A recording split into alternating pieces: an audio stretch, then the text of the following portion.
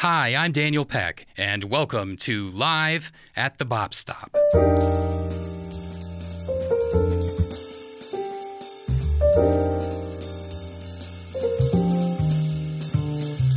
This week, Live at the Bop Stop, the show, celebrates its 150th episode in conjunction with the Bop Stop Club's 9th anniversary.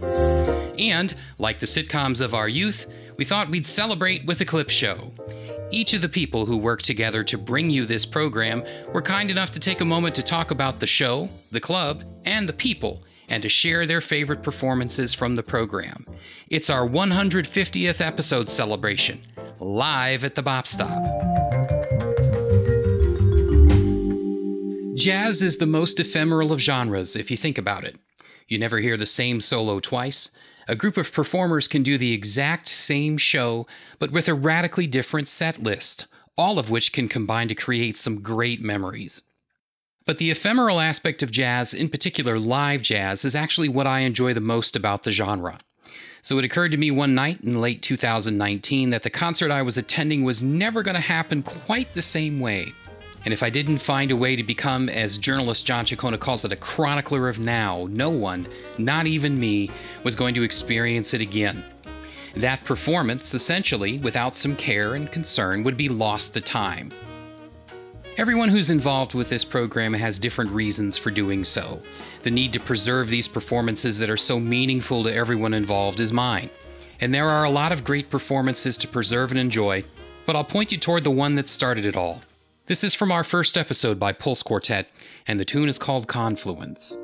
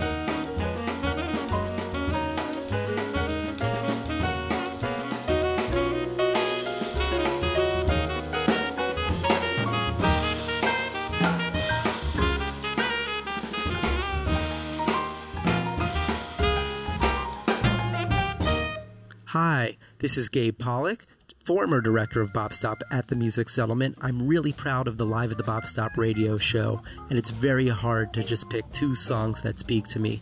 But I must give a shout out to the Soul Message Band from Chicago because I love the Hammond B3, and they are a classic B3 trio. We featured a song of theirs, My Baby, which I absolutely love, and I encourage you all to check that out.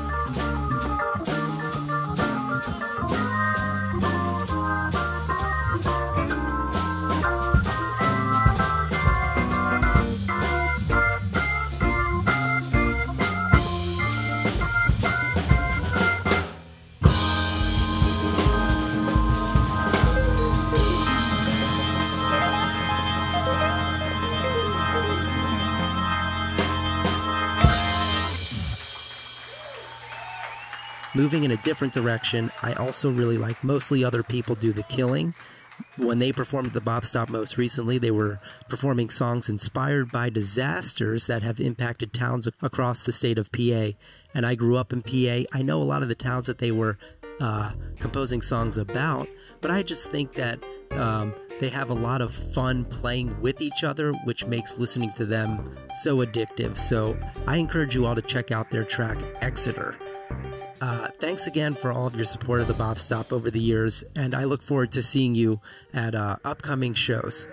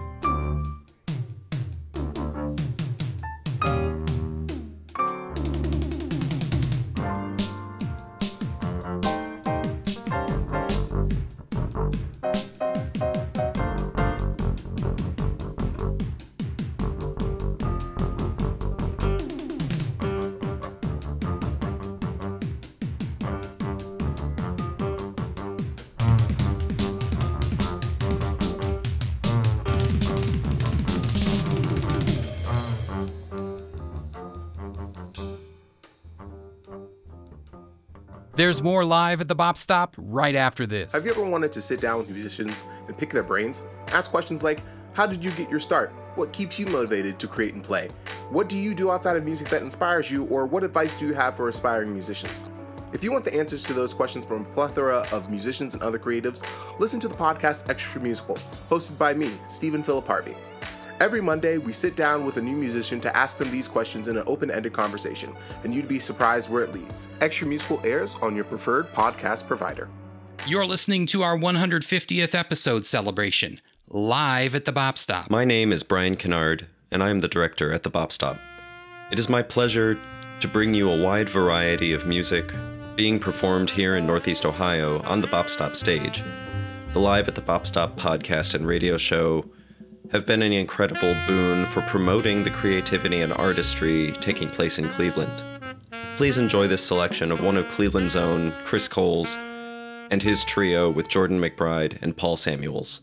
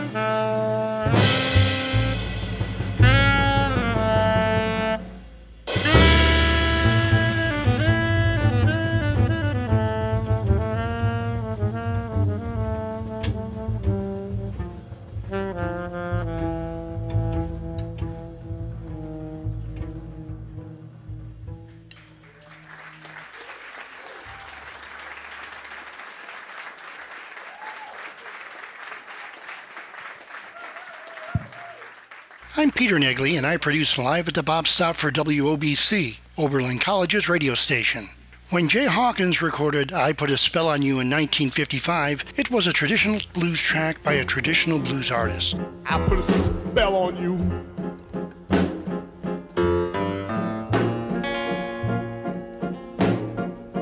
Because you're mine. However, when he re recorded it in 1956, the rendition was slightly different. I put a spell on you. Because you're mine. Oh, yeah. And upon its release, bluesman Jay Hawkins would forever be known as Screamin' Jay Hawkins. This recording would go on to sell over a million copies, although never making it to the Billboard Pop or R&B charts. Since its release, it has been covered by numerous artists, from Buddy Guy to Creedence Clearwater Revival to Seal, Annie Lennox, Tell you I ain't lying.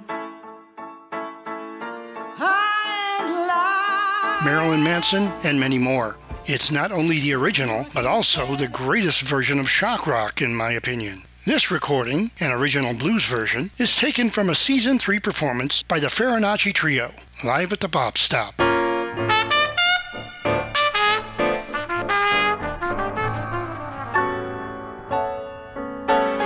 Spell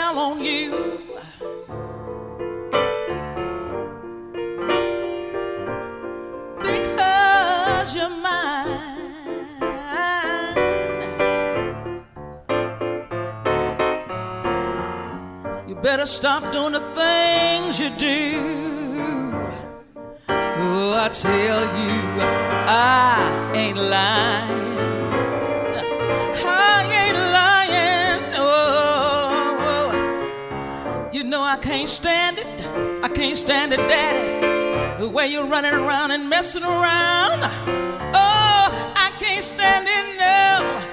Oh, the way you put me a spell on you.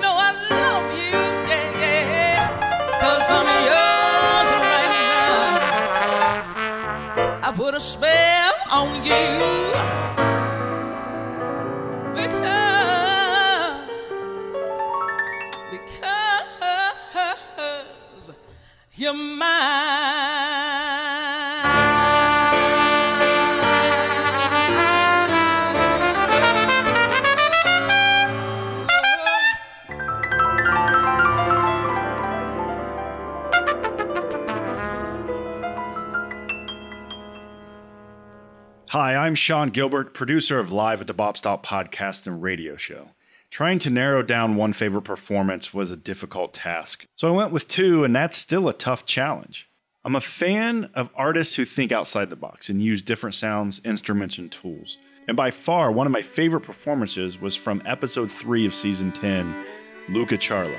I love string instruments, and the violin is one of my favorite instruments to listen to. Combining that with a looper, Luca played a one man show. So as you listen to this song, you'll hear only Luca, but you'll hear different, multiple Lucas playing at the same time.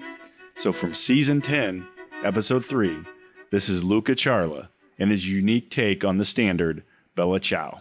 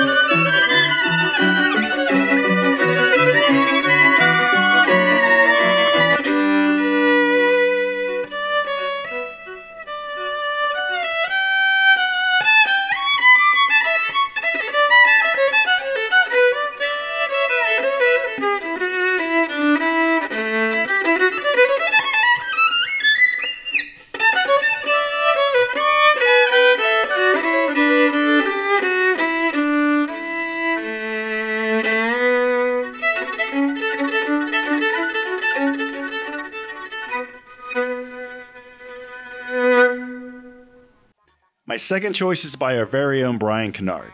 This is a sneak peek of our next episode and one of my favorite all time performances I have seen live at the Bop Stop, no pun intended. The song, requested by Bryan's mother, has a little bit of everything, and a first for me as I have never seen somebody play the ocarina before. Along with that, the song takes you through what I can only describe as a journey through multiple sounds and genres. So, from our next episode, Bryan Kennard's birthday show, as requested by his mom, this is Scary Dromedary.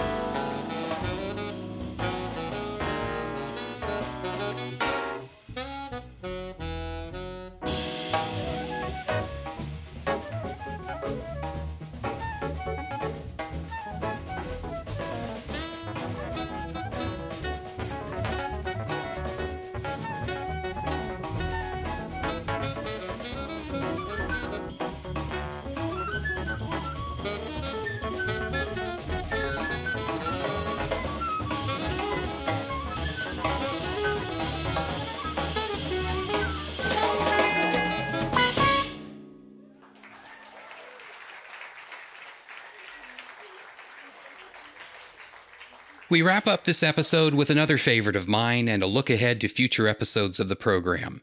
Northeast Ohio is home to a lot of extremely talented performers who really care and love the work that they perform and produce. But Darren Frate is perhaps the one we talk about the least. He's been featured on the show before and will be again. An excellent bassist in his own right, he splits his time between here and New York City, serving as a teacher, mentor, performer, and sideman whenever the occasion calls. In addition to pursuing his own sound and his own style, he can emulate the styles of other performers, including one of my favorite bassists, Wayman Tisdale. And if you remember Wayman Tisdale as a basketball player rather than a bassist, I understand, because he was pretty good in his time. I hope you'll take some time, though, to dig into his back catalog, particularly if you're a smooth jazz fan. With this in mind, we wrap up today's show from a performance you'll hear here on a future episode of the program. This is Darren Frate performing his tribute to Wayman Tisdale, simply titled Tisdale, live at the Bop Stop.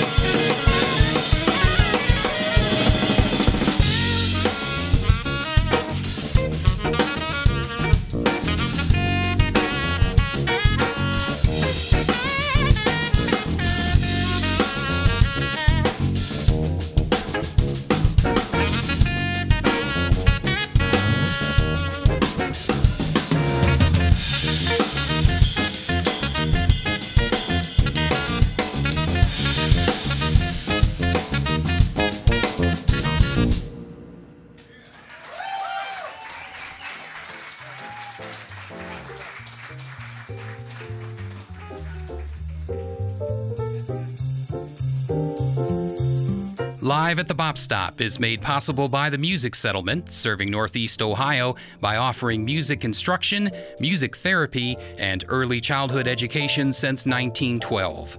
The Music Settlement's mission is to welcome all to our music and arts community to learn, create, inspire, and heal.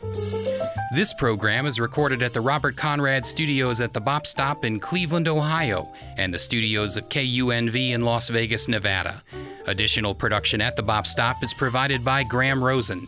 Editing for WOBC, WNPA, and the Public Radio Exchange is provided by Dr. Pete Nagley, and for our podcast and other radio affiliates by Sean Gilbert at Gilazar Media. The executive producer is Daniel Peck, with additional consulting production by Bryan Kennard and Gabe Pollock on behalf of the Music Settlement.